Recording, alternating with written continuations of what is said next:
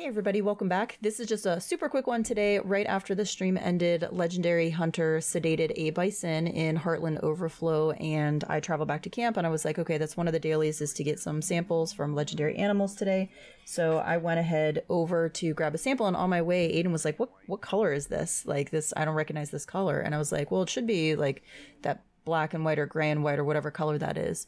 And he's like, no, this is like a this is like a white or whatever. Well, I get over there, and sure enough, it is the Winyan bison uh, that spawns up in Colter, which is a super rare spawn. It's really hard to get that one. As a matter of fact, I'm pretty close to completing the animal compendium, and that is one of the ones that I've not been able to get to spawn in uh, to get the rest of the things like sedating, tracking, photographing, all that good stuff.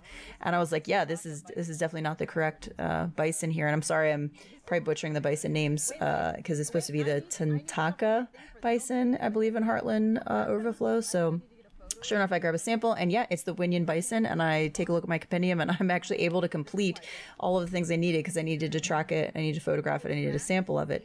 Uh, so that was pretty cool, but a, a very weird. Um, and I've had this happen one other time with the gators. I've had legendary gators gators spawn in like a slightly different part of the swamps that they're not supposed to spawn in, which I thought, okay, it's the swamps. Like, you know, they probably have a, a large range. It's kind of all the same area, but uh, Colter is quite a bit of distance from the Heartland overflow. And then Legendary was saying that he's had it happen with the boars before. So I'm just super curious if you guys had any legendary animals spawn in the incorrect place.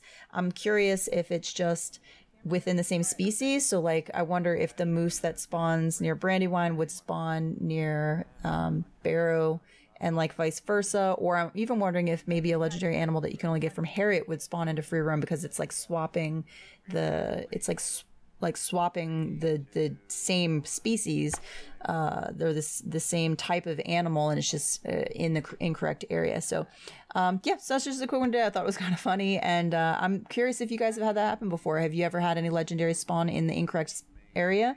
Is it like the same like in this case where it's just a, uh, it's still a bison that's spawning but it's just a different location. Or have you had animals spawn in like crazy areas of the map where like they're not supposed to spawn at all. So i'm super curious uh, if you have had that happen leave a comment below. I will talk to you guys all soon. Thanks for watching